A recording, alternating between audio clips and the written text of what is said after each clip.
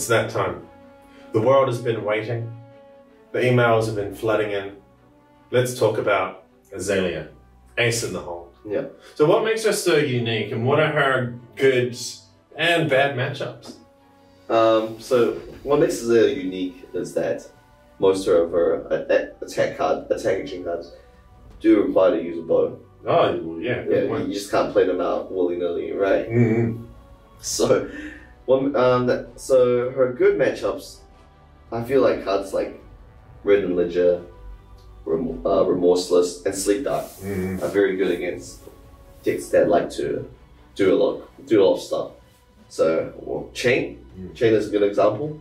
If you get one of those cards to hit a, a Chane player, it usually stops the turn. Yeah. And uh, the more blood debt they've got in the pool, the better, right? Yeah, yeah. Like, I feel like Zeta is really good against aggro decks too. Mm. Like those cards just shut their turn off, Yeah. and then yeah, their the opponent is either forced to defend or just take it and then just do something. Right. Yeah, pretty underwhelming if you get hit by a sleep dart and you're trying to be an aggressive katsu or an aggressive Chane or something. Well, yeah, It yeah. messes everything up. Yeah, sleep dart's very, very, very powerful. Mm. And then the bad matchups is like more, more control decks, Mm. especially like um, um Bravo. Like has a uh, she has a hard time versus Bravo because Bravo not only does it defend well, but then she Bravo has cards that like crush cr- crush your crush your crush your turns, Mm. such as Spinal Crush, Crippling Crush.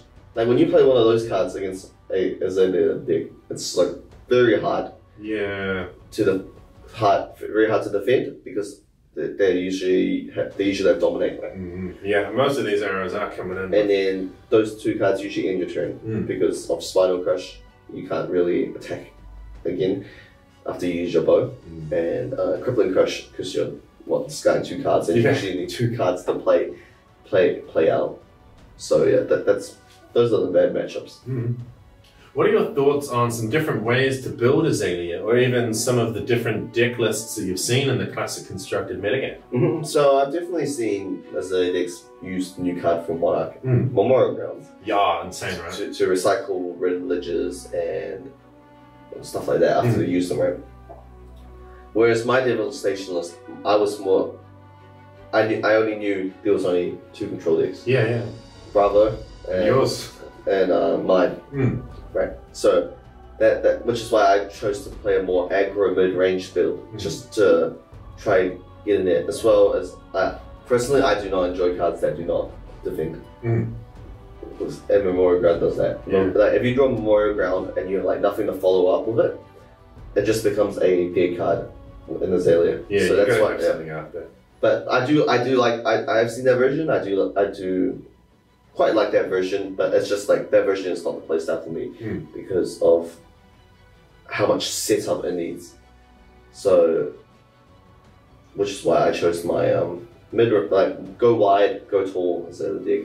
Yeah, a bit of everything in that one. It's Yeah. good. But I have seen a Azalea deck that has topped eighted a road to nationals overseas. So and it ran Memorial Ground. So maybe maybe I'm wrong, but Maybe they know something you don't. Yeah, but yeah, I really his list was very cool. Mm. It did run a lot. It was similar to mine, but with Memorial Grounds. Yeah. So maybe Memorial, Memorial Grounds is the card for Azalea. That's cool. Yeah.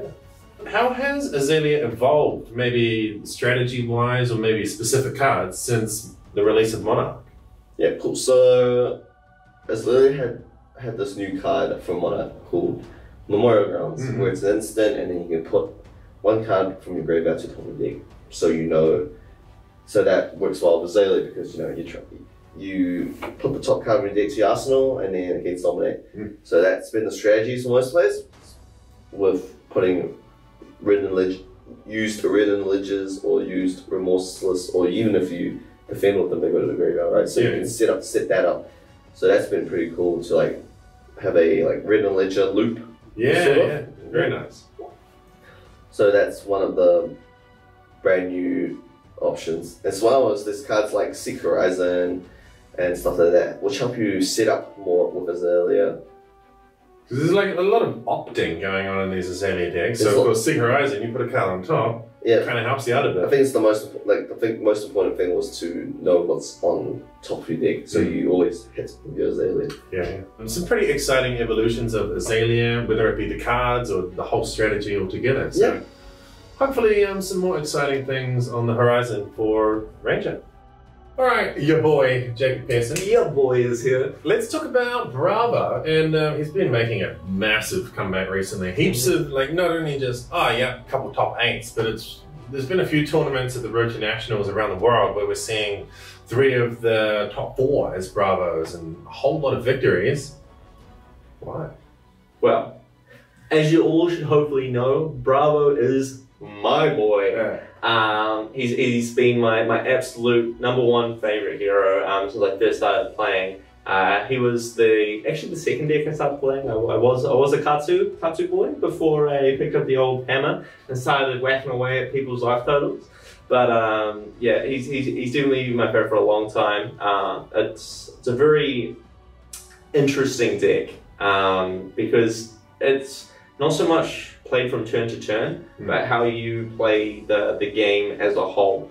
So it's all about setting up what's in your deck, being very careful with your resource management, caring about what threats you have left in your deck, what ratios of blues you have left in your deck, how much damage you're able to force through at the end of the game. A lot of very interesting strategies you can implement for specific matchups that only take one or two cards to implement. Yeah. Um, like I think I was talking about on a previous question with like Blessing of Deliverance and Remembrance Mm. and kind of looping that in order to get through some of these tough control matchups um, for like the, the super dedicated control decks. Bravo is a control deck, but it can also play like a very uh, beefy mid-range deck where it's slamming down these big crush attacks and making people throw their hands in front of it and using that to kind of generate tempo. Mm. The flip side of that is it's not a very consistent thing. So when you try and play it as that mid-range strategy with those pummels, with those big crush attacks, going from turn to turn, you're often going to run out of steam, and your opponent's going to be able to regain control of the game and finish you off. That's why I feel like the more optimal uh, sort of control strategies for Bravo do kind of rely on that, that setting up and that resource management that I was talking about. Um, some interesting tech as well is um, with your showtimes, being you have to be very careful um, with shuffling your deck and remembrance as well, because obviously they, they ruin your pitch deck. Changes they, the they, they, they change the whole composition of your deck. And it's a, there's, there's a lot of real nuance to playing Bravo that I don't think a lot of newer players don't quite pick up on. Mm. Um, and I think a lot of people are starting to to really grasp that and be able to use that to kind of push the, the Bravo in a way, innovation forwards Yeah. um, into, into this new meta game. And uh, but we really see it as well with like the Chane matchups. Um, people getting the timing on their, their spinal crushes perfect. yeah. Um, being able to throw them through with dominate when the, when the Chane's got six or seven cards of blood, setting up the big rift by turn, and then oh, yeah. suddenly you don't have go again. You're taking 10 to your blood debt, and I'm going to dominate attack through, and that's going to be the end of uh, Mr. Chane. And uh, a lot of these games we see being uh, ended up in this, this kind of fashion. Mm. Um, and because of the popularity of Chane, that really kind of edges Bravo up. Also, we were talking about before with Dash, Dash were a massive death. Like, Mhm. it was completely out of the metagame at the start of Monarch, which really allowed Bravo to, to take one step forwards, you know, hold his hammer high Yeah. um, because he doesn't have to deal with those really super uh, tight control lists where they're all they're looking to do is preserve life total. They don't care about your crush effect. They're just going to assemble a bunch of items in play and they're just going to chip you all the way down from there. It's pretty cool. Like it, it seems, of course, Bravo's received a couple of new toys since Mhm. Monarch, but it sounds like why is Bravo putting up all these big results? Well, it's, it's the things moving around it, Mhm. and you touched on the understanding that the players are sort of having much more of. Yeah. That's kind of cool that it, it doesn't always have to be the deck gets better, but things around it move. Yeah, absolutely. That's cool. It's nice. Yeah, like I mean, if we're going to talk about how it sort of evolved from Monarch, Hmm. um, probably the, the the most interesting tools that I received was Outmuscle and Browsy Engines Hmm. because they allow a much more like m- more traditional mid-range deck from Bravo, where it's kind of sacrificing some of its block threes, it's sacrificing some of its raw consistency for those really big spike turns. Hmm. Where especially when you have things like Showtime or Stamp Authority, and you end up with five or six cards, you're able to go like rouse the ancients into an out muscle, into even sometimes another crush attack. Yeah. Especially if you're using like a Mage Master Boots tome combo with that as well, you can sometimes end up with like seven card turns. Yeah, um, being. Bravo, which is insane, right? So you can play this much more mid-range combo style Bravo deck. Not really my my shtick, Mm. as it were, but it's definitely a cool option that was introduced with Monarch Yeah, that we didn't have before. that's a really sick evolution. Something so simple or almost, um, I don't know, it doesn't really jump out of you immediately. and Something like out muscle. Well, not to me anyway. But those small things that you talk about the nuances of Bravo, and it really everything adds up. Absolutely. So we've, we've talked a lot about different builds of all of the heroes out there from our Devastation event. But with Bravo, I remember on your player profile with such a fantastic slow motion picture, um, Sledge was your favorite card. Yeah. But Can you tell us about some different weapon builds out there? We haven't seen the Sledge too much, but thoughts on any kind of off the wall type of Bravo decks that could be there? Yeah, sure. Um, a lot of my love of Sledge of Anvilheim um, comes from not how powerful the card is, or even even how good the card is, but how clean that card looks Yeah. on a piece of cardboard. We're talking four resource symbols, no effect, just says the one word attack. Yeah. That six power, just Yeah, Beautiful. it's pretty clean. the piece de resistance of the weapon world, if you will. And that artwork is just mm, Yeah. pristine. Um, so if, you ever see me and want me to, to sign you or your Sledge Ambleheims, uh, feel feel feel free. It's, it, is, it has really got a, a nice nice place in, in my little heart. Oh, okay. Um, but if we're talking about actual builds that can utilize the card, the card is definitely playable. Um, it's very good in the Kano matchup. Hmm.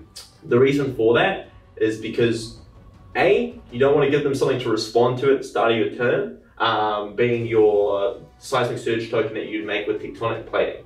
Because generally what you're doing is you're going like I'm going to pitch a three cost card, make a make a token, pitch a three cost card, attack with your Anothos, right? And get the, the six power. Mm. But what that does is you're using the same four resources to attack. And it doesn't always have six power, right? Mm. So we talk about things like Blessing, um, Tome of Fyendal, all these other cards in your deck that don't necessarily have three power. And it gives you the option of pitching these, still having six power, and not sacrificing any additional uh, resource generation, uh, which is a, a very, very important thing.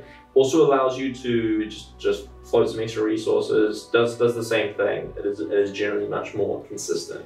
Uh, when you're with that the Anothos attack. The sacrifice, the downside of that is generally you're not able to pitch one card to attack with Anothos. That never realistically happens in the Kano matchup anyway. Um, so it never really becomes an issue because generally, if you only have one card in your hand, you're wanting to hold that so you're not going to get burned out. It's a very slow, sort of grindy matchup in, in Classic Constructed for sure. Cool. Awesome.